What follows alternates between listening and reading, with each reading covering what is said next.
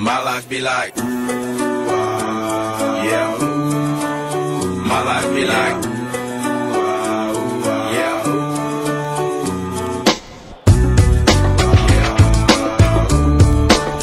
My life be like, yeah.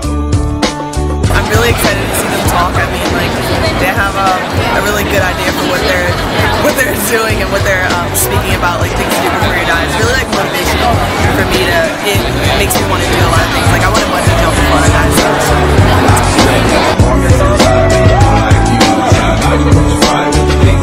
I'm on an island by my lonesome stranded. Alright, so key and staying um, what candid. has the show inspired you to do?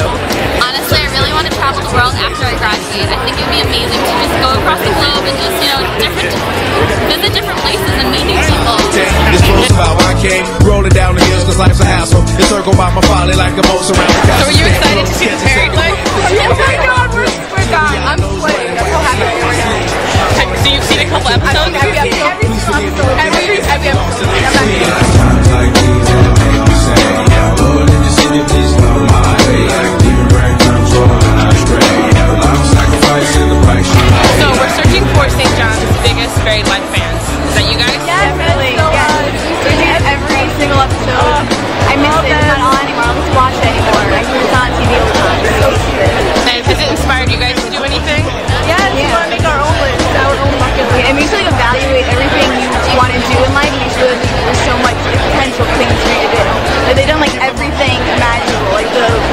Playboy Mansion episode. Like just it's an Oompa Loompa inside the cake with the creativity. Like who else is gonna do that other than that?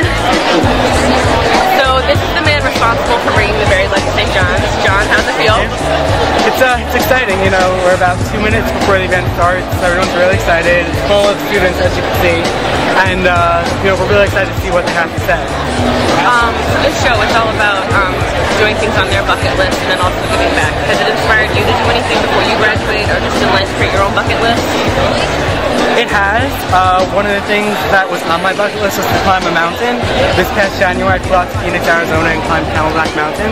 Uh, and this summer, I'm taking sailing lessons. I've always wanted to learn to sail, so that's another thing on my list. Perfect. And so we're about two minutes out. It's buried life. Yeah, so I got to uh, kind of get going. All right, believe do in the kingdom coming. I believe if you